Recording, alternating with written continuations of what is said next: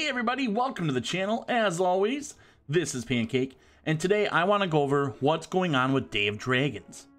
First off, if you haven't heard already, Day of Dragons is going to Unreal Engine 5.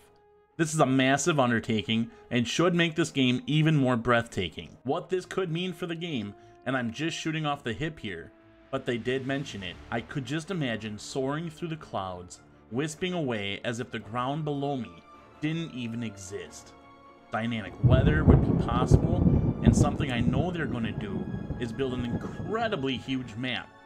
Which brings me to my next point.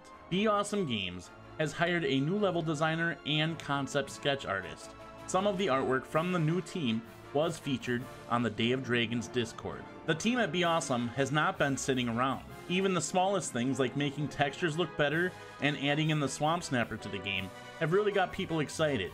You can see the swamp snapper at four ponds. If you fly into the middle of the biggest lake, on that pond, there will be a snapper there. It does not move, however, it does breathe. Recent activity on their Discord says the animations are done, but it's not completely coded yet, so expect that soon.